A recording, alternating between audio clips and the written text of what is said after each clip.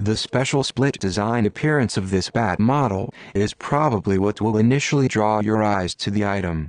It is quite the beautiful piece of lumber. But, since this is a Louisville Slugger bat we are talking about, it has a lot more to offer. The biggest selling point of the all-new Louisville Slugger Legacy T141 LTE Ash baseball bat is its light feel and weight. If you are looking to generate a little extra quickness in your swing, the design of this bat can help you find it. A great hitting legacy could be in your future if you trust this Louisville Slugger item to help guide you through your upcoming seasons.